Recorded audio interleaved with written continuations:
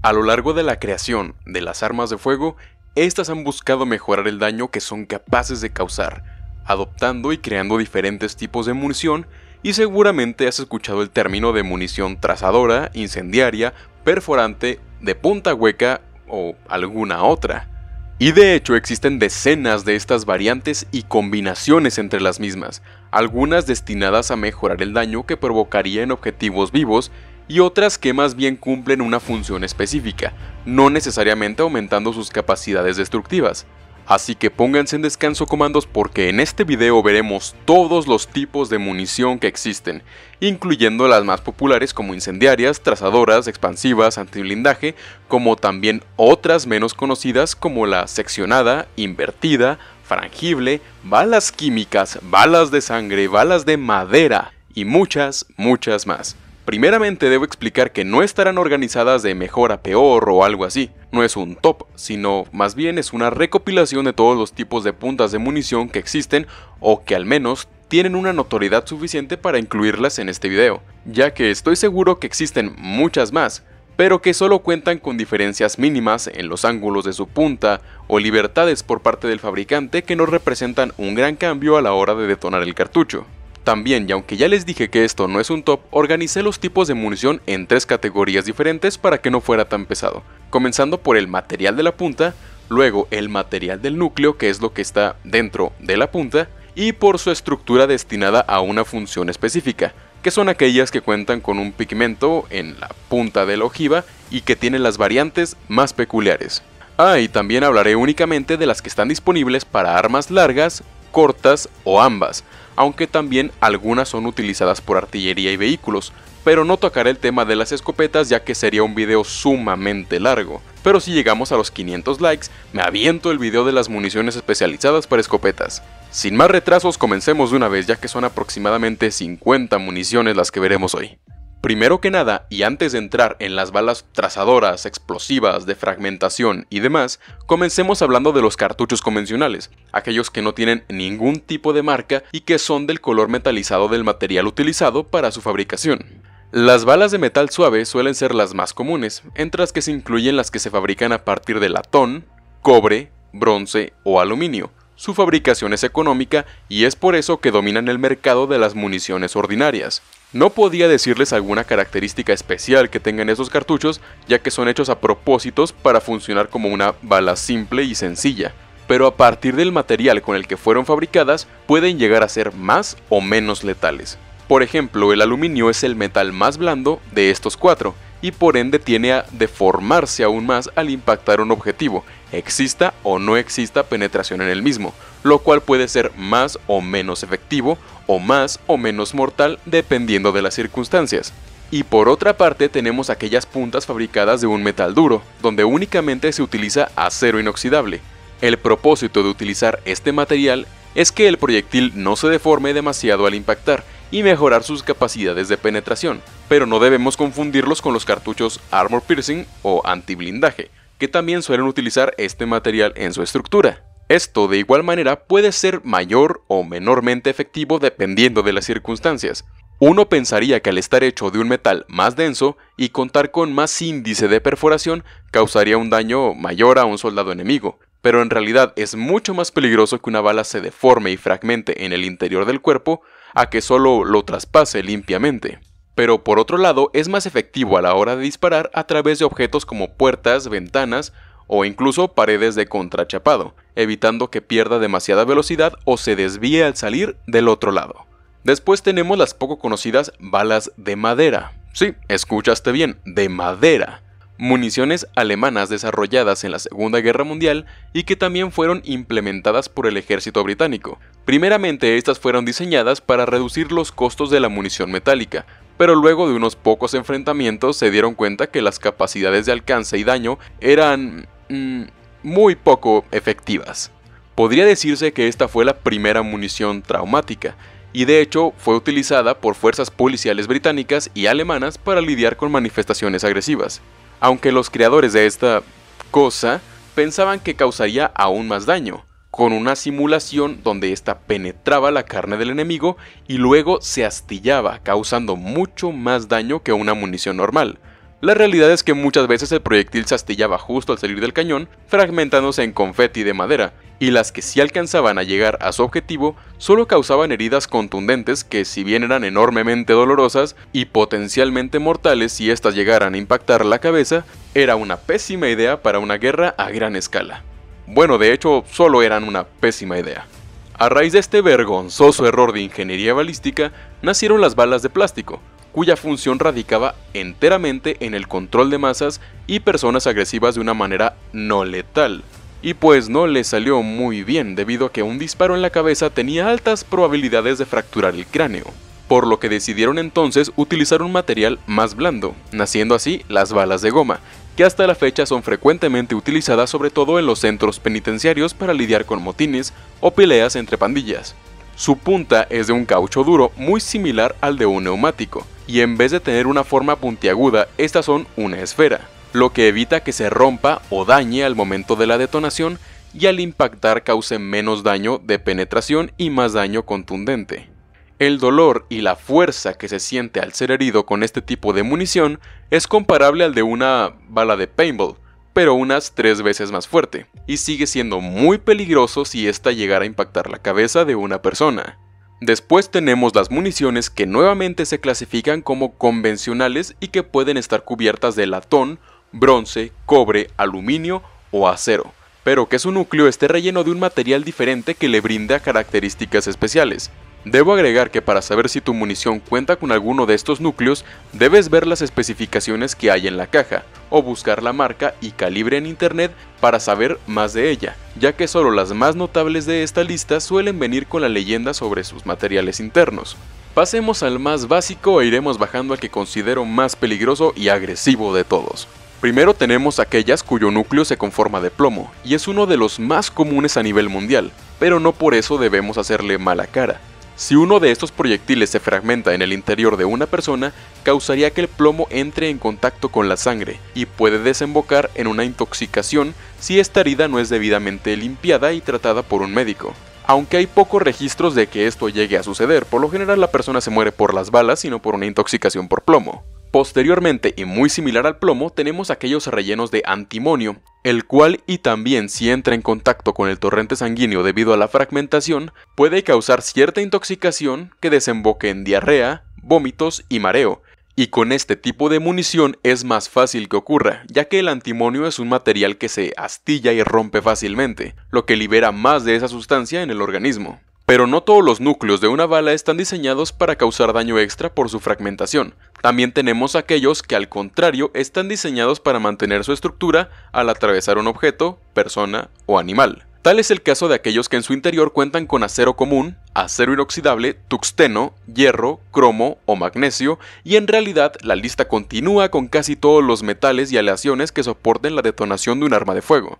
lo que le ayuda a mantener su integridad y darle más poder de penetración pero el que me parece más devastador de todos es aquel que en su interior posee un núcleo de uranio empobrecido. Con solo escuchar su nombre puede que pienses en balas tóxicas y radioactivas, y en realidad tienes razón, aunque sigue siendo un material sumamente denso y su característica principal radica en el poder de penetración y no en la fragmentación del proyectil. Pero si este llegase a romperse en el interior de una persona, este material es altamente nocivo para la salud y puede causar trastornos renales y en sangre, así como enfermedades a largo plazo, como por ejemplo cáncer. Realmente uno no piensa que puede enfermar de gravedad luego de haberse recuperado de un disparo. Y otra cosa realmente aterradora de esta sustancia es que la cantidad para que tenga efectos adversos en la salud es muy muy pequeña, de solo 0.5 microgramos por kilo del peso corporal de la persona. O sea que si pesas por ejemplo 75 kilos, hace basta solo una 0.037 parte de un miligramo para causar una intoxicación por uranio. Y tomando en cuenta que la ojiva de un cartucho pesa bastante más que eso, creo que puedes darte una idea de lo mal que podría quedar la salud de una persona si sobrevive a estos disparos y no recibe atención médica urgente. Y ahora sí pasemos a aquellas municiones especializadas que tanto deseabas ver. La munición de punta blanda es de las primeras donde podemos ver una singularidad. Esta es una bala de expansión encamisada con un núcleo de metal blando encerrado por una cubierta de metal más fuerte. Ven, por eso empezamos hablando del material de las municiones, Cualquiera de las siguientes en la lista puede tener sus variables dependiendo del material para su fabricación. Pero volviendo al tema, la punta de estos cartuchos está abierta y sin cubierta metálica, por lo que al golpear la carne, esta tiende a expandirse en un diámetro de herida mayor que el diámetro de una bala normal. Son fácilmente reconocibles por su color gris, que varía de brillo según el metal utilizado en su núcleo, que como mencionamos está descubierto. El antónimo de las balas de punta blanda sería la munición AP, cuyas siglas significan Armor Piercing y su traducción perforadora de blindaje, la cual adquiere esta característica ya que su punta y núcleo se encuentran reforzados con un metal duro y altamente denso como el wolframio, uranio empobrecido o tuxteno. Usualmente solo se fabrican en calibres de alta velocidad para así aprovechar la energía cinética del proyectil y sobrepasar sus límites de perforación, logrando por ejemplo que si un chaleco balístico resiste munición 7.62 x 39 mm, la versión antiblindaje del mismo calibre sí lo atravesaría con facilidad, y se identifican con una punta en color negro, aunque no necesariamente se necesita una cubierta metálica súper dura para causar más daño. Un claro ejemplo son las balas expansivas, o también conocidas como de punta hueca, las cuales están diseñadas para expandirse, válgame la redundancia, en el impacto, y aumentando el diámetro para limitar la penetración y producir una herida con un diámetro mayor lo que se traduce a que el trayecto que recorrerá dentro de tu cuerpo dejará una cavidad más grande dañando más tejido a su paso y también dejando un gran orificio de salida muy propenso a una hemorragia masiva. Muy parecidas a las balas expansivas tenemos a las balas seccionadas y de hecho suelen confundirse debido a que éstas suelen presentar el mismo hueco en el centro de la ojiva, y aunque también cumple la función de dejar una herida más grande en el interior de una persona, esta tiene mayor facilidad de fracturarse en múltiples y afilados trozos de metralla al momento de entrar en contacto con la carne, lo que ocasiona varias heridas internas y una muerte lenta y agonizante. Una variante de la munición seccionada que ha llamado muchísimo la atención en los últimos años es la munición RIP, y cuyo nombre es realmente adecuado para la ocasión, este peculiar cartucho tiene en su parte superior una ojiva seccionada en 8 puntas afiladas, que al impactar con carne se separan en diferentes direcciones perforando varios órganos y causando un enorme daño desgarrador en su trayecto. Sin duda una de las más violentas ideas de la ingeniería balística y me encanta. Otra interesante y extraña variante, que bueno, en realidad es muy difícil de ver en la actualidad, son las balas invertidas, las cuales literalmente llevan su ojiva al revés, con la punta hacia adentro y la parte achatada hacia afuera. Esto primeramente comenzó como un intento de mejorar el índice de perforación en las armas alemanas en el campo de batalla durante la Primera Guerra Mundial, así que los soldados extraían la ojiva, colocaban un poco más de pólvora en el interior del cartucho y posteriormente colocaban la ojiva en sentido opuesto. No sé a quién se le ocurrió, la verdad, no sé, a mí no se me hubiera ocurrido. Esto era y es en extremo peligroso, ya que la carga extra de pólvora podría causar que el arma explote. Pero si eras capaz de disparar correctamente esta munición hechiza, conseguirías un proyectil antiblindaje de alta velocidad. Las capacidades de esos cartuchos eran tan fuertes que perforaban el blindaje de los tanques Mark I, pero pues era un experimento que podía salir bien o podía costarte la vida. Actualmente desconozco si estas se fabriquen bajo alguna regulación o solo quedaron como algo que se podía hacer con cartuchos convencionales. Y hablando de cosas raras, te apuesto a que no conocías la munición múltiple. Y no, no me refiero a que tenga varios perdigones como los cartuchos de una escopeta. Me refiero a literalmente un cartucho que en su interior tiene dos o más ojivas. Ya sé que suena un poco raro, poco práctico, impreciso, pero pues alguien lo fabricó y yo solo vengo a contarles. Uno de los únicos ejemplos actuales de esta munición son las Multiple Hit Bullet calibre .45 ACP, que aunque en la imagen parezca que son tres ojivas unidas a una pequeña esfera, en realidad la ojiva se separa en tres fragmentos y se libera la esfera en su interior, la cual los mantiene unidas durante su recorrido mediante una cuerda, lo que al final provocaría un daño de cuatro proyectiles en uno y aunque parezca una idea absurda, el daño que causa es bastante considerable, pero más similar a la metralla de una explosión que al de un cartucho convencional, cuya entrada y salida son más limpias. Algo obvio es su falta de precisión y están creados más bien para uso recreativo y nada más. Pasemos a un terreno más conocido ya que vimos demasiadas cosas raras.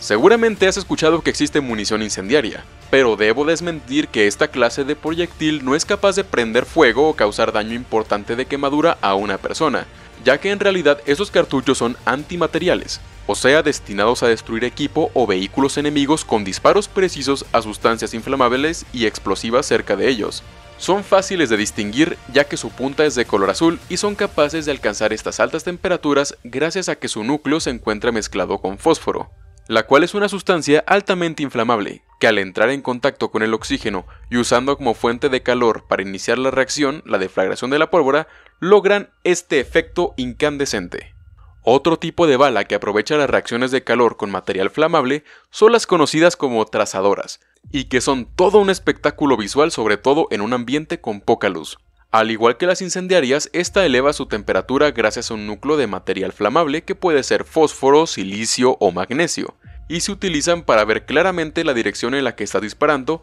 y también para señalar hacia dónde están los enemigos y tú mismo poder realizar ajustes de apuntado sin depender demasiado de tu mira, pero gastando munición. Se reconocen fácilmente por su punta en color rojo y suelen utilizarse alternando con municiones de otros tipos que no cuenten con estas características lumínicas, por lo general siendo 5 cartuchos convencionales seguido de un trazador y así sucesivamente. Este también posee una pequeña probabilidad de causar incendios al dar en material flamable, pero es preferible no utilizarla para este objetivo. Algunas de las últimas municiones que acabamos de ver suelen combinarse para otorgar varias características a un solo cartucho, dándole más utilidad y potencial en ciertos aspectos. Por ejemplo, tenemos la munición perforante trazadora, la cual se identifica con una punta en color negro y rojo, la perforadora incendiaria cuya punta es de color gris metálico, la perforadora incendiaria trazadora con color gris metalizado con rojo, y la incendiaria trazadora con la punta en color azul y rojo. Todas estas combinaciones son utilizadas tanto por armas largas como por artillería, pero no sabría decirles en qué situaciones específicas o para qué circunstancias son favorables o desfavorables. Lo único que sé al respecto es que se utilizan en las ametralladoras de los aviones de combate y se pueden configurar de manera diferente para afectar el tanque de combustible del enemigo dañar componentes internos del motor y las trazadoras para saber qué tanto debes ajustar tu mira, ya que claramente observarás hacia dónde van los disparos. Todo esto lo aprendí del videojuego War Thunder y ya después solo corroboré la información para ver si era verídica. Por cierto, War Thunder, patrocíname. Y bueno, ya volvamos a la munición extraña y rara. ¿Sabías que existen balas con sangre de cerdo? Estas son las Jihad Ammo y literalmente el ejército de los Estados Unidos las promocionaba como con Jihad Ammo no solo matas terroristas islamismas, también los mandas al infierno. Esto porque en la religión musulmana es pecado mortal ingerir cerdo y por ende que cualquier material del mismo esté dentro de tu cuerpo por lo que esta munición funciona como una advertencia para aquellos terroristas extremistas islámicos que aunque intentaran cometer la automorición después de realizar un ataque al país, el simple hecho de recibir un disparo con estas balas hacía automáticamente que su objetivo de ir al cielo quedara hecho pedazos. Ojo, no digo que los musulmanes son malos, solo digo que esta bala está dirigida a ese pequeño grupo de personas dentro de esta religión y que optan por una vida criminal terrorista y más que nada su creación es intimidante y disuasoria para evitar ataques a futuro. Ay güey, ya me duele la garganta.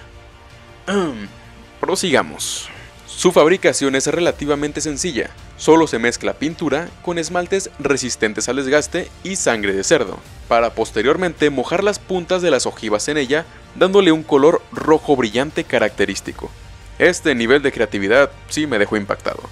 Pero ahora hablaremos de una munición que desconocía si era real o producto de los videojuegos, y esta es la munición explosiva, y que es identificable por su punta en color amarillo. Esta, aunque principalmente es también un cartucho antimaterial, suele ser utilizado contra infantería, y obtiene sus capacidades explosivas por un pequeño mecanismo en su núcleo, el cual está relleno de una carga de pólvora y al igual que posee un fulminante en la parte posterior del cartucho, tiene otro en su interior que detona al impacto, causando una pequeña explosión capaz de destruir partes de vehículos, equipo enemigo, y aunque no tiene mucha perforación ya que el proyectil se autodestruye, el hueco que puede dejar en la carne es algo realmente serio, sobre todo si este penetra unos cuantos centímetros y detona en el interior del enemigo. También tenemos la variante explosiva trazadora, identificable por su punta en color negro con amarillo, que tiene las mismas características detonantes con el extra de ser visible en su trayecto lo que permite corregir más fácilmente tu puntería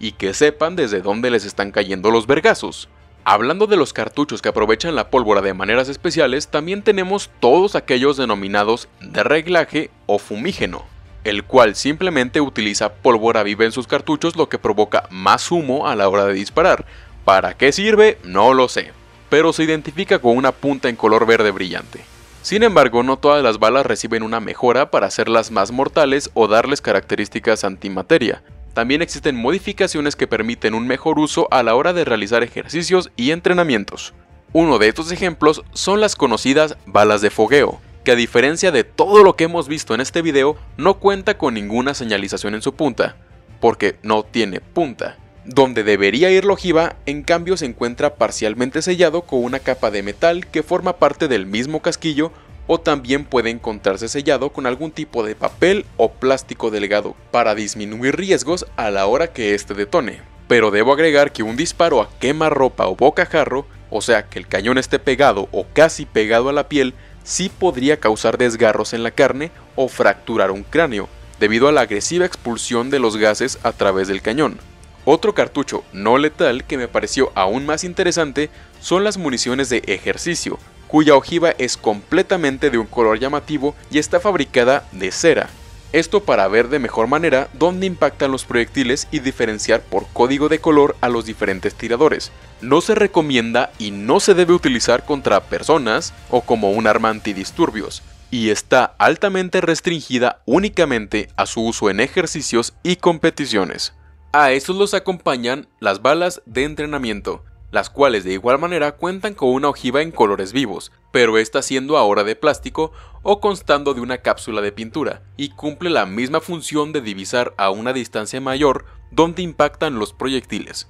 La munición frangible es una alternativa aún más económica para realizar prácticas y a simple vista puede parecer un cartucho normal sin encamisado metálico, pero a diferencia de una bala normal, esta está diseñada para fragmentarse en un polvo fino al momento del impacto, y es identificable por su color de ojiva café oscuro, asemejando tierra mojada. Y no, no sé qué pasaría si una persona recibe un disparo de esta cosa. Creo que nadie lo ha intentado.